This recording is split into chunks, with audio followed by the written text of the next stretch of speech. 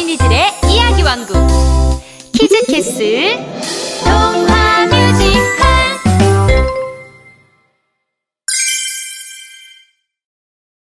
키즈캐슬 동화 뮤지컬 아기 돼지 삼형제. 시작해 볼까요? 첫째 돼지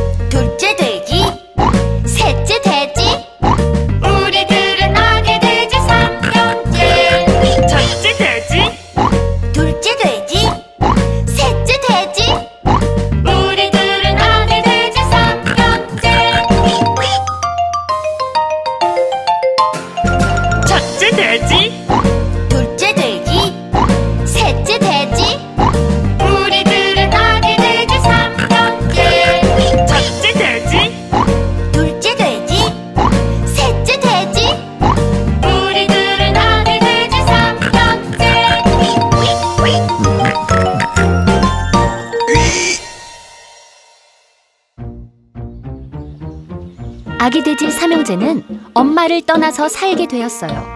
그래서 새 집이 필요했대요. 돼지 형제들은 어떤 집을 지었을까요?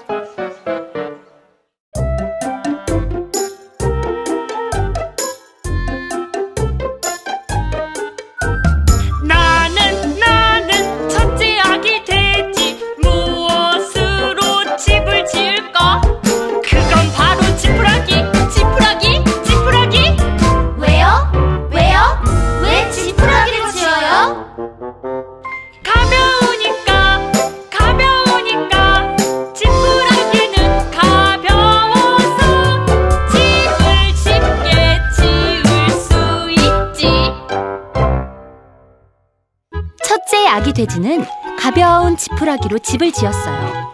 그럼 둘째 아기 돼지는 어떤 집을 짓기로 했는지 한번 들어볼까요?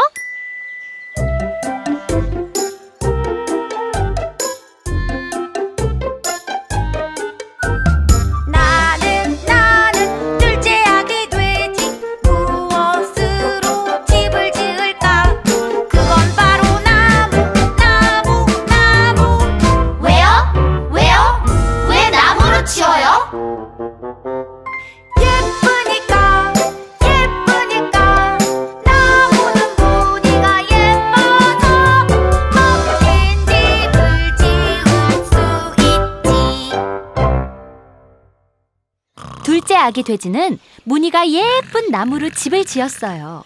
그런데 바로 그때 배고픈 늑대가 나타났어요. 돼지 형제들을 잡아먹으려고 말이에요. 돼지들아 집에 숨으면 못 잡아먹을 줄 알았냐?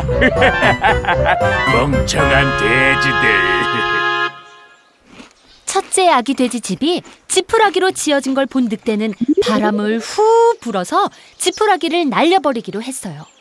바람을 불어주지 예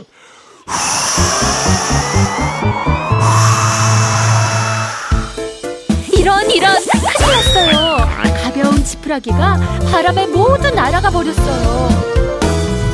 늑대를 보고 겁이 난 첫째 돼지는 둘째 돼지네 집으로 도망갔어요. 바보 같은 돼지들아 도망가면 못 잡을 줄 알았냐? 이번엔 나무집이군 잠깐 생각에 잠겼던 늑대는 불을 질러 예쁜 나무집을 다 태워버렸어요. 아 뜨거! 아 뜨거! 아 뜨거! 아 뜨거! 아 큰일 났다! 어서 셋째네 집으로 도망가자! 첫째 돼지와 둘째 돼지는 발바닥에 불이 나도록 달려서 셋째 돼지네 집으로 도망을 갔어요.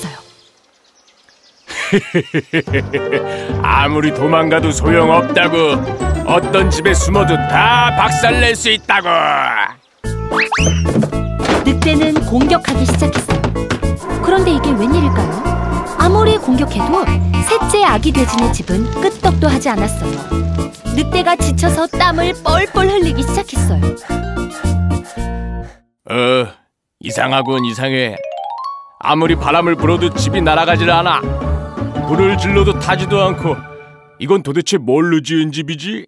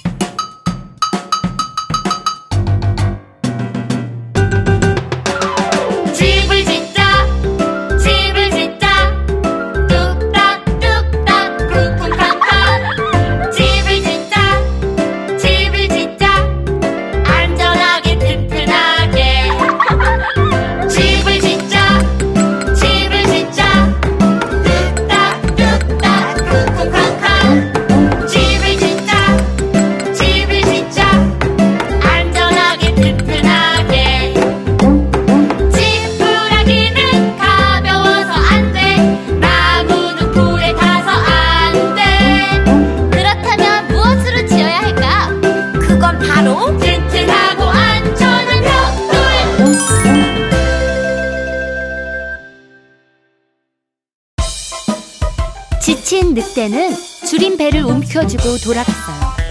그리고 아기 돼지 삼형제는 벽돌집에서 행복하게 오래오래 살았답니다. 키즈캐슬 동화 뮤지컬 다음에 또 만나요.